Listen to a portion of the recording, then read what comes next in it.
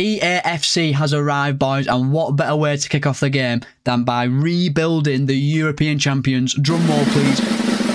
West Ham United. I know for a fact you were thinking I was going to City then. No, we are rebuilding the European Conference League champions, West Ham United, and we are going to take them from Conference League glory to Champions League glory. So a new feature in EAFC is this new tactical vision system, basically choosing how you want your team to play. And with West Ham United, I'm going to go Gegenpress. I don't really know how it works just yet. As we do more and more rebuilds, I'll try and understand it a little bit more. So this is how the default West Ham United team is looking. And do you know what, lads? It actually looks okay considering it's the first season. Just to let you know, boys, because we are in season one, we have disabled the first transfer window, so we cannot make any signings at all in the first window. Now, the glaring weak points of West Ham United's team, in my opinion, are goalkeeper, striker, and left back. So when we do eventually get to January, they are the positions we are going to be looking to strengthen. So the goal for this season, boys, is to finish in a Europa League spot and reach the FA Cup semi-final. I think we've got a very good chance of doing that with the squad we have. But lads, I don't actually know much about this new tactical vision feature they've implemented into EAFC. So for this rebuild, we're not going to take it into consideration too much. We have selected Gegenpressing. I'm just going to see how it works. And if we're not winning many games, I'll change it to like Tiki-Taka or something. So it's match day one, boys, away at the Vitality Stadium against Bournemouth. Let's simulate and see if we get the win. Can we get a win in our first game of the season? No, we can only manage a draw away to Bournemouth. We absolutely battered them though, and James Ward-Prowse rescued us a point. So in all honesty, boys, what I think we should probably do is just simulate 4th January the first note and see where we're at in the Premier League as we cannot sign any players.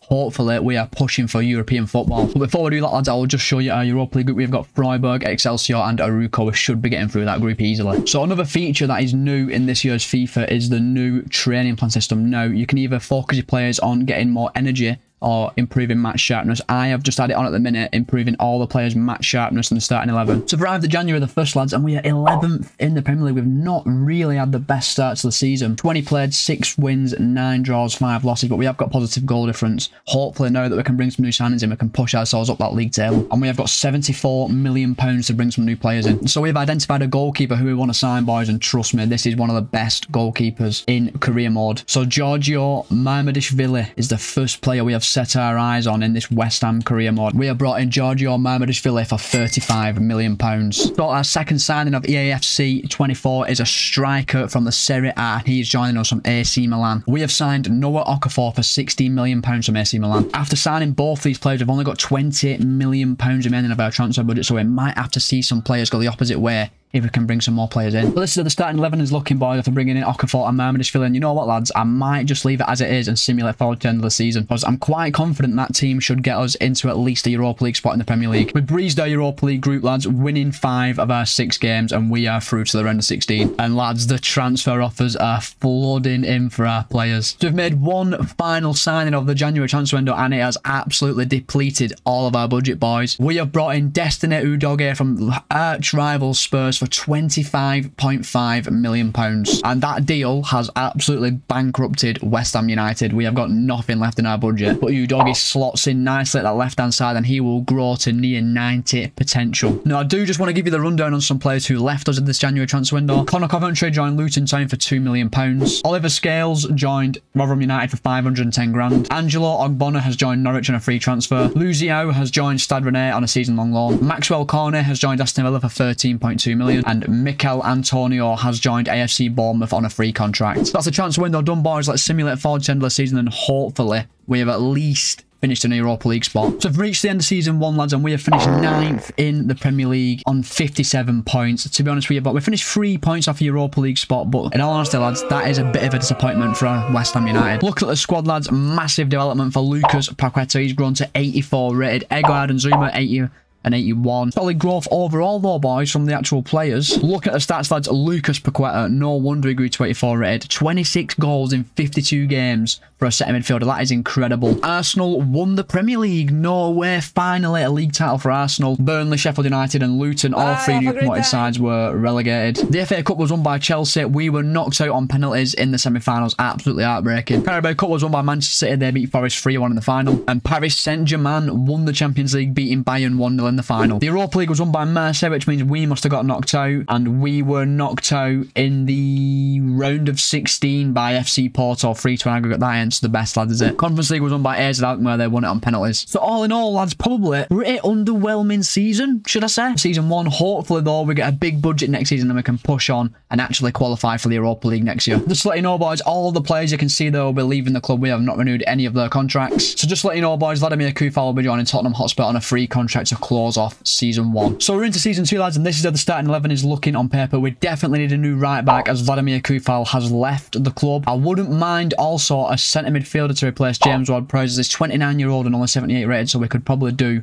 a better player in that position. Transfer budget 71 million, same as last season. We only need to bring in a set midfielder and right back though, so we could make that money work. Lads, we have made our first signing of the new season, and it is our most expensive signing to date. We have brought in Teun Koopmeiners for 36 million pounds from Atalanta. So we have made our second signing of season two, and this time it is a free agent striker who massively flopped at Manchester United and I think you know who this is. We have signed Anthony Martial on a free contract. Martial will take a place on the bench to start the season. He's an improvement on Danny Ings, and he replaces Michail Antonio, who left the club on a free. We have just made an absolute steal of a signing here, boys. We have brought in a right back from Barcelona for just 14 million pounds. We have brought in Serginho Dest from Barcelona. Literally, look how cheap that deal is. Dest is 78 rated and 23 year old, and he is going to be our first choice right back, hopefully, for the remainder of the rebuild. Lads, if you've made it this far into the video, please consider subscribing to the channel. Let's push for 1,000 subscribers before the end of EAFC. Now, after the signings of Koopmeiners and Dest, we are left with 21 million pounds, so we might have to let some players go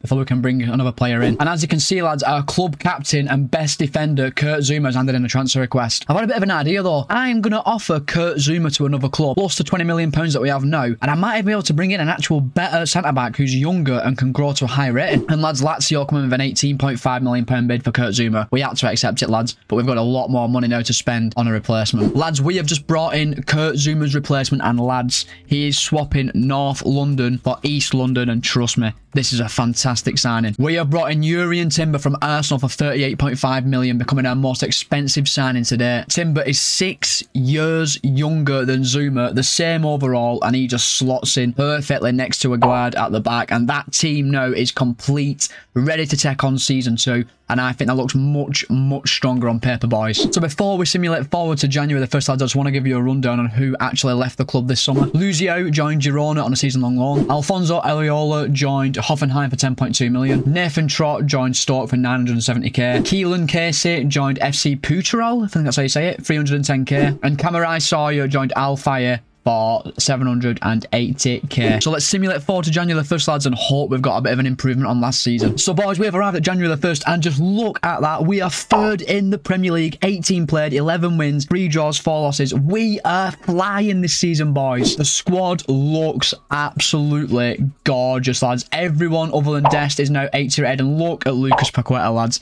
85 rated Lucas Paqueta. He is the star man of West Ham United. Now, we only have £9 million available, so I don't think we're going to be bringing anyone in in January, but if we can keep this trajectory on course, we could be playing Champions League football next season. Lads, I'm bringing you back a bit early because look at the results at the side of your screen. We are literally just winning every single game. Oh, we lost our last game of the season, lads. Lads, I'm not lying. We have just won as I was simulating through, we were just winning game after game after game there. And I'm thinking, you know, I'm thinking we could have actually won the Premier League here. Like, I don't want to look, I'm a little bit nervous. Let's have a look. Standings. We come third, lads. We're playing Champions League football next season. No way. We finished third in the Premier League. Oh, and we've, what? We were 10 points clear of fifth. Lads, West Ham are playing Champions League football. As you can see, I can just see, look, we're winning a lot of games. I'm thinking, wow, we're just winning game after game after game here. And we're in the Champions League next season. I'm I'm blown away, boys. Wow, I am blown away. Just to let you know, boys, Danny Ings, Andy Irving, Christian Hegyi and Gideon if that's how you pronounce his name, will all be leaving West Ham this summer. This is how the teams look at the end of the season, lads. Look at Lucas Paqueta.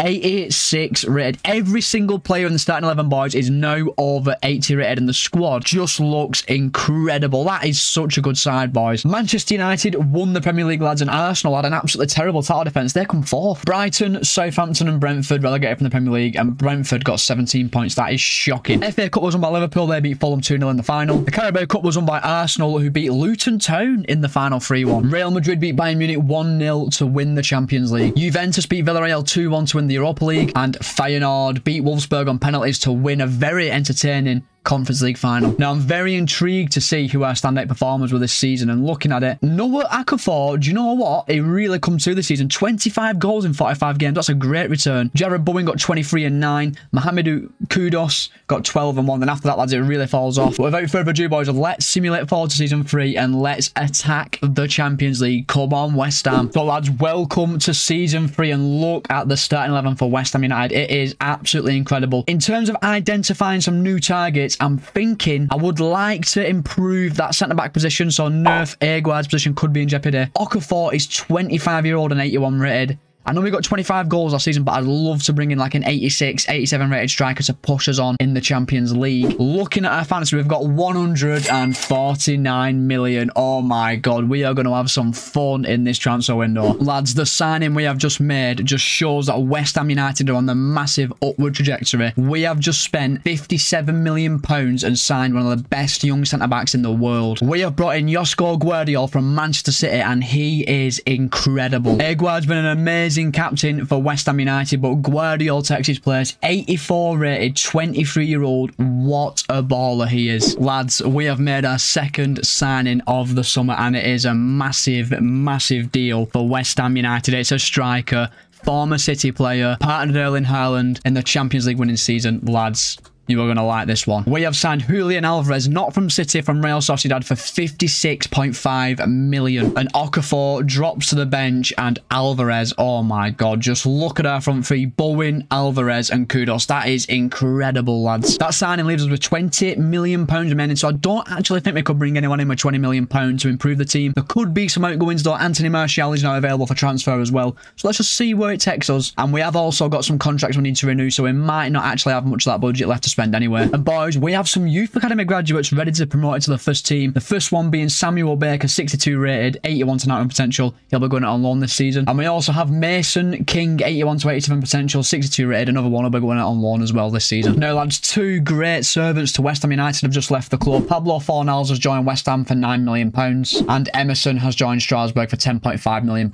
Now, that's pretty significant, lads, because it's left us with £39 million in our transfer budget. So we could actually, we could bring a player in, though, first team better. Looking at the squad, I'm thinking maybe a left winger. So, lads, selling Emerson, we only had one left back at the club, so we had to bring another left back. It's off the free agents. Bit of an old head, bit of experience. We have signed Cristiano Biraghi on a free contract, Need an 80 rated 32 year old centre midfielder. Left back. Centre midfielder is a left back. And now our bench is just stacked with quality lads. And I'm really confident going into the season. I think we can have a really, really good season this time round. Lads, we are so ready for the Champions League. Like, the business we have done this summer is just unthinkable. We have signed Ansu Fati from Barcelona for £56.5 million.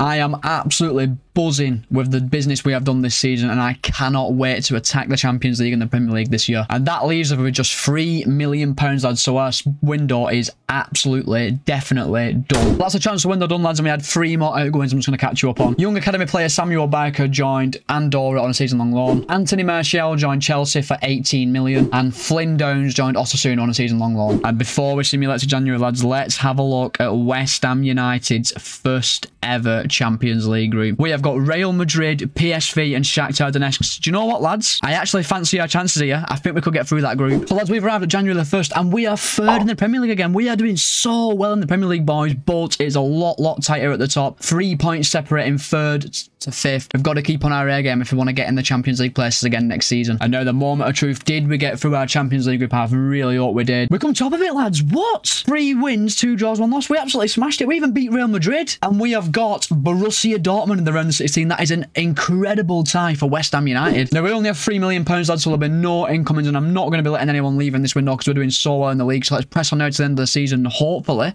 We've got something to shout about. Lads, I'm going to bring it back again. You know, if you've watched my FIFA 23 rebuilds, you know I never bring it back, but I need to show you something. Lads, we are 2-1 up in the Champions League semi-final at the London Stadium against Manchester City. We could be going to a Champions League final in our first season. Oh my God. Quick sim, quick sim.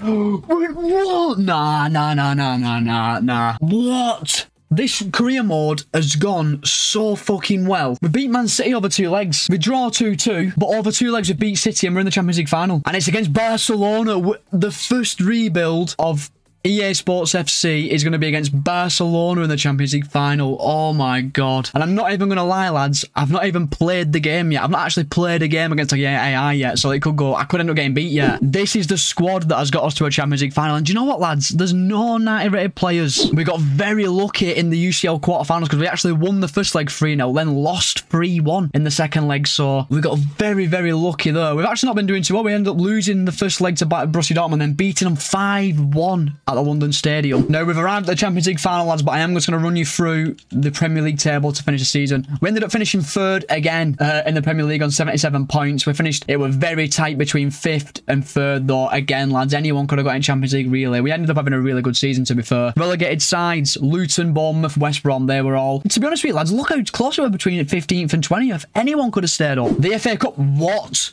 The FA Cup was won by Port Vale. Fair play to Port Vale. And the Carabao Cup was won by West Ham United. Lads, we beat Man City 2-1 in the final. Get in there. Liverpool won the Europa League. They beat Roma 2-0. And Sociedad won the Conference League. Now, lads, let's waste no more time. Let's get into that Champions League final. Here we go, lads. We're in the Champions League final against Barcelona. But, like I've been saying, I've said it like six times. It's my first actual game of EAFC and it's a Champions League final, so please bear with me if I do end up getting beat. And oh my god, they can break. Ah, it's brilliant defending by Serginho Dest. What a ball. Udogie. Shoot. What a save. What a save. Big moment in this game. ter Stegen comes to Barca's rescue. Fati to whip the corner in. Oh, Alvarez has scored. He scored. Oh, that's a good save by Stegen. Ends up taking the deflection. Alvarez. Lucas Paqueta, the main man. Shoot. He's gone wide. He's gone wide. Lucas Paqueta, no. Oh my God. Romeo Lavia starting for uh, Barcelona. He must have grown a lot over three seasons. Out with Ferran Torres. That's a lovely back heel to Cancelo. Could be 1-0. Oh, big save. Big, big, big save by Mamardashvili. It should be 1-0 to Barcelona. Oh, shit. Raphinha's absolutely left me. Oh, that's brilliant defending, though. That is brilliant defending. Whips in. Fati. Oh, Shoot! Oh, Fati against his former club. ter Stegen with another amazing save. It's going to be nil-nil at half-time, lads. Barcelona have had one big chance. We've had about four massive chances. I'm really liking those smooth the game plays on the AFC. I like the passing's a lot more fluid and it actually goes where you want it to go, which I don't think it did a lot on FIFA 23. Nil-nil at half-time, boys. Come on, let's get the win in the second half. Oh, my. Oh, my. Look at the football. Udogie, come on. Across. Bowen! No! He's missed! What? He's got to score! It's an open net! Come on, lads, we're getting so close to getting this. What a tackle. There we go. Alvarez through the middle. Oh, he's got the pace. He's got the pace. Come on, Alvarez. Finally, we've finally scored. It's 1-0 to West Ham. Julian Alvarez with the goal. Thank God for that. Stegen has been a brick wall in this game, and we're 1-0 up with 20 to go in the Champions League final. And Alvarez goes in one-on-one, -on -one, 15 metres out, and he plants it past ter Stegen. This game has been close, lads. And oh, skip past me there, Fratesi. I don't like this. I don't like this at all. Lukaku. Oh, he's giving away. No, he's not. Shit. Shit! Oh, he's ballooned it. He's ballooned it. That was a big chance. We're going to bring Kudus on. What am I doing? Oh, what a tackle again. Oh, my God. Bowen, Alvarez. Paqueta. Oh, Kudus. Let's get the second. Come on, this is the second. This is going to be the second it's game over, boys. Kudus, this is literally it's his first involvement. It's 2-0 to West Ham.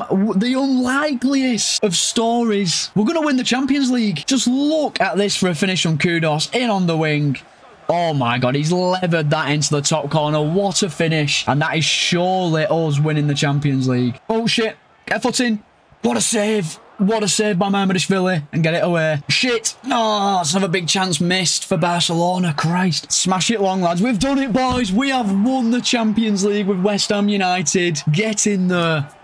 Get in there. I am absolutely made up with this, boys, honestly. I can't believe we even got to the final. I think on all the rebuilds I've done, I don't think I've ever got to a final without at least two 90 rated players. I think this is the first time I've ever got to a final where I've had no 90 rated players. I'm just amazed. I'm genuinely amazed we've done it. We have taken West Ham United from Conference League winners all the way to Champions League winners. Oh, I am so buzzing. I am so buzzing with this. Remember, boys, keep your eyes on the channel for more EAFC content. The next rebuild is going to be with my club, Bolton Wanderers. We are taking Bolton Wanderers from League One to Champions League go. Let's watch West Ham with this trophy. Get in there, West Ham. West Ham are massive. Champions League glory is coming back to the Olympic Stadium. What a journey that was with West Ham United. Thank you so much for watching this video, boys. Really, really appreciate it. Let's smash that subscribe button and get this channel to 1,000 subscribers by the time EAFC reaches the end of its life cycle. Again, thanks for watching the video, guys. Keep your eyes on the channel, and I will see you in the next video. Cheers. Thank you.